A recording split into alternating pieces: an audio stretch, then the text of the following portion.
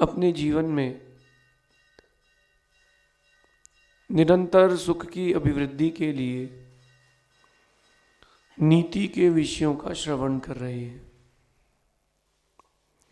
नीति अच्छाइयों को बढ़ाने वाली होती है और आपके अंदर में जो बुराइयाँ हैं, उनको पृथक करने वाली होती है। लेकिन जो बुद्धिमान होते हैं वही नीतिवान हो पाते हैं। और जो पुण्यवान होते हैं, उन्हीं के पास नीति का ज्ञान हो पाता है। नीतिवान बनना कठिन नहीं है, नीति का अभ्यास करना कठिन है। जितना आपका व्यक्तित्व महान होगा, उतना आप नीतिवान होंगे। बड़ा हृदय और छोटी छोटी बातों का इग्नोरेंस ये नीतिवान के पास होता है कि हर बात को वो हृदय में लेके नहीं चलता। हर बात को छोड़ो, आगे बढ़ो। ऐसा व्यक्ति नीतिवान होता है। आज अपन एक और नीति देखते हैं। यहाँ कह रहे हैं कि आपका जो दृष्टिकोण है, देखने का नज़रिया है, व्यक्ति के प्रति, वस्तु के प्रति, वो नज़रिया कैसा है, वो ज़्यादा महत्वपूर्ण है व्यक्ति से और वस्तु से। जो आपका नज़रिया है, उसको आप देखिए कि आपका नज़रिया कैसा है, क्योंकि जैसा आपका नज़रिया है, वैसा आपका भविष्य है। कमियाँ देखने की आदत छोड़ें और खूबियाँ देखना प्रारंभ करें। जो आपके अंदर एक आदत है कमियाँ देखने की, उनसे दूर हटें और खूबियाँ देखना प्रारंभ करें। कमियाँ देखने से आपके अंदर भी कमियाँ ही बढ़ेंगी और खूबियाँ देखने से खूबियाँ बढ़ेंगी। यानी आप बुराइयाँ देखोगे तो बुराइयाँ ही बढ़ेंगी, अच्छाइयाँ देखोगे तो अच्छाइयाँ बढ़ेंगी। एक बात देखो गौर से कि कितना ही सुंदर दीवाल में पेंट हो, एक छोटा सा काला दाग लगा हो तो पूरी दीवाल की प्रशंसा नहीं होती। व्यक्ति क्या कहता है? वहाँ पेंट खराब है।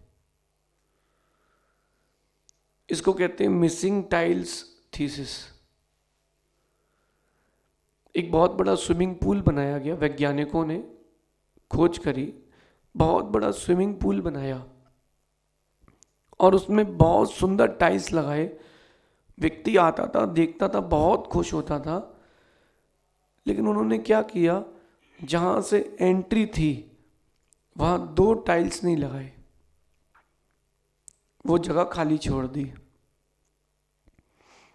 व्यक्ति आता, चारों तरफ़ देखता, लेकिन जैसे ही वो पूल में जाता और पूल से बाहर आता यही बात कहता कि ये वहाँ पूल में टाइल्स नहीं लगे उस व्यक्ति ने हज़ारों टाइल्स लगवाए तो उसकी कोई कीमत नहीं थी।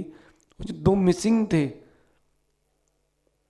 जब रिमार्क बुक में लिखवाते थे वो लोग तो सभी लोग यही लिखते थे कि बाकी सब ठीक है, वो वहाँ दो टाइल्स कम है। एक ह्यूमन टेंडेंसी है एक मनुष्यों की प्रकृति है कि वो कमियाँ देखते हैं, खूबियाँ नहीं देखते। इसलिए मनुष्यत्व तक ही निश्चित है। मनुष्य होकर के देवत्व तक पहुँचना है तो कमियाँ नहीं, खूबियाँ देखना पड़ेंगी।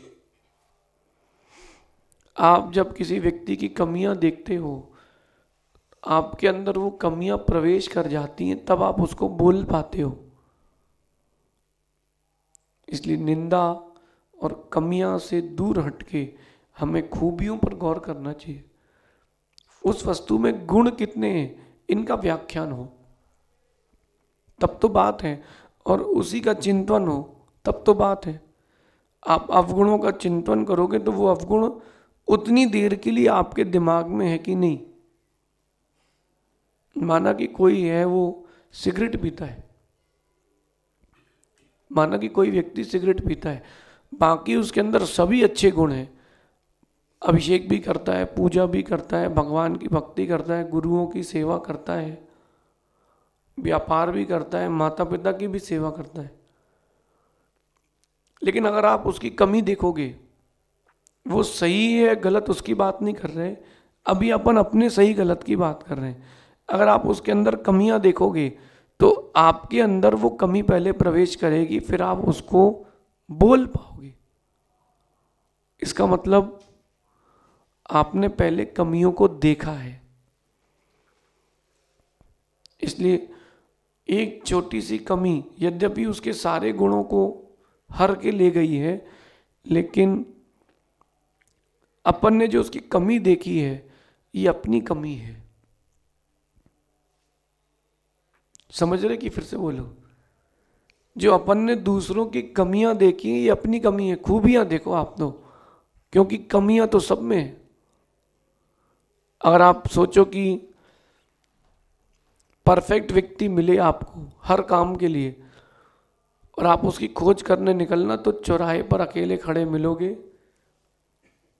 चौराहे पर अकेले ही खड़े मिलोगे। क्यों?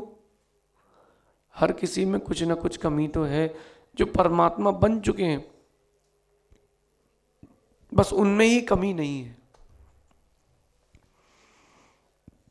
बाकी सब में कमी है। इसलिए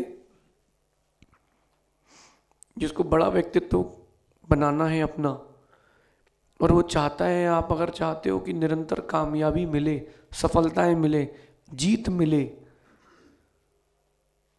तो अगर आप ऐसी कामयाबी चाहते हो तो खूबियाँ देखने से मिलेंगी। कमियाँ देखने से सिर्फ़ निराशा मिलती है। जब आप किसी की कमी देखते हो तो मन में निराशा आती है। मन उदास हो जाता है। आप किसी की खूबियाँ देखते हो तो मन प्रसन्न हो जाता है। क्या देखना चाहिए? अगर आप कमियाँ देख रहे हो तो निराश ही रहोगे। आप तो उसकी खूबियाँ देखो कि उसमें गुण क्या क्या है। तो आपके अंदर भी प्रसन्नता आएगी। और निराश होने से सफलता नहीं मिलती, प्रसन्न होने से मिलती है। अगर कोई पूछे तो उसकी कमी उसको ज़रूर बताना, लेकिन सोच लेना कि व्यक्ति टूट जाएगा। लेकिन ये सोच के रखना कि व्यक्ति टूट जाएगा। क्यों ऐसा क्यों कह रहे हैं महाराज जी? इसीलिए कह रहे हैं क्योंकि कमी सुनना भी हर किसी को पसंद नहीं है। व्यक्ति कोई काम करता है तो पूछता है, ये ये पेंसिल कैसी लग रही है? अपन ने बोल दिया कि बहुत बढ़िया है तो वो खुश है। और आपने बोल दिया, थोड़ी और अच्छी वाली भी ले सकते थे। हो, देखो उसको, और अच्छी वाली ले सकते थे। कभी ली उसने कंपनी की पेंसिल? व्यक्ति आपसे प्रशंसा सुनना चाहता है, निंदा नहीं। लेकिन जो प्रशंसा करे वो शत्रु है, जो आपकी कमियाँ बताए, वही मित्र है। प्रशंसा करने वाले हज़ारों मिलेंगे, लेकिन आपका सुधार करेगा जो, ऐसे लोग बहुत कम मिलेंगे। बात आ रही समझ में? इसलिए अपन सुधार के ऊपर काम करें, वो ज़्यादा अच्छा है। अपनी कमियाँ स्वयं खोजना प्रारंभ करो, ये सबसे कठिन काम है। क्योंकि अपनी कमियाँ अपन कोई कमियाँ नहीं लगती। जैसे एक महीने में कितने दिन अभिषेक पूजा करते हो? बोलिए। आपकी कमियों की बात चालू कर दी तो चेहरा उदास। कितने दिन पूजा अभिषेक करते हो? कितने दिन? किस बात के तुम गुरु भक्त हो फिर? कमी देखो, अपनी कमी खोए स्वयं खोजो ना अपन कि अपने अंदर कमी क्या क्या है। अलग अलग फील्ड्स में। इसको बोलते हैं एनालिसिस एक चार्ट बनाते हैं। Religious social family related personal इसमें अपनी कमियाँ लिखो। किसी को दिखाने की ज़रूरत नहीं है। अपनी कमियाँ लिखते जाओ कि सोशल एक्टिविटीज़ में रिलीजियस एक्टिविटी में मेरी कमी क्या क्या है? सोशल रिलीजियस एक्टिविटी में मेरी कमी क्या क्या है? और खोजो। और खोजो। फैमिली रिलेटेड कमियाँ मेरे अंदर क्या क्या है? ऐसा जो आप चार्ट बनाओगे, उसमें अपनी कमियाँ लिखो और हर दिन कमी दूर करो, आपके व्यक्तित्व का निर्माण होगा। व्यक्तित्व का निर्माण चाहते हो, अगर आप लोग अपना तो भैया, अपनी कमियाँ स्वयं देखना प्रारंभ करो। दूसरों की कमियाँ देखने से अपना विकास नहीं होगा, अपनी कमियाँ देखने से अपना विकास होगा। ऐसा जिस दिन भाव आपके अंदर आएगा, विकास कई गुना हो जाएगा। अब किसी के दांत नहीं है। माना किसी के दांत नहीं है। लो, उसके तो दांत ही नहीं है। अरे, उसमें अच्छाई देखो। चलो, दांत नहीं है तो दांत का दर्द भी नहीं है। कमियाँ तो हर चीज़ में है ना। और दांत वाले के अंदर कमी देख लो। कुछ फंस जाता तो टेंशन होती, निकालो। डॉक्टर के पास जाओ, दर्द होता है, निकलवाओ। वो टेंशन फ्री है। जिसके सिर पे बाल नहीं है, उसको देख के ये मत बोलो कि टकला है। उसको देख के सोचो, यार, सुकून है। कोई विकल्प ही नहीं है, न कटिंग के पैसे लगना है, ना कुछ। सुकून से हाथ फेरो और मस्त रहो। और आशीर्वाद भी मिलेगा गुरु का तो डायरेक्ट मिलेगा।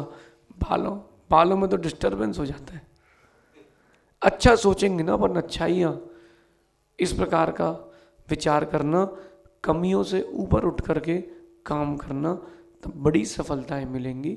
शेष अपन इसके आगे विचार करेंगे, क्योंकि मानव की एक मानसिक प्रक्रिया होती कमी देखने की।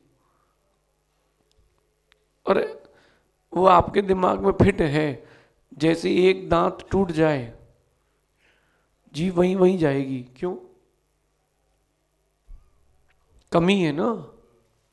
अच्छा देखो आप इस कमरे में पानी भर दो और एक ईट कम हो, पानी वहीं से बाहर निकलेगा। तो ऐसे ही है, जो चीज़ कम, कमियाँ होती है ना, उसी की ओर दृष्टि जाती है। इनसे ऊपर उठ करके अच्छाइयों को खोजें, अच्छाइयों को बढ़ाएँ, तब जाकर के आपके सुंदर स्वर्णिम व्यक्तित्व का निर्माण होगा। शेष आगे विचार करेंगे। भगवान महावीर स्वामी की आचार्य भगवान गुरुवर विशुद्ध सागर जी महाराज की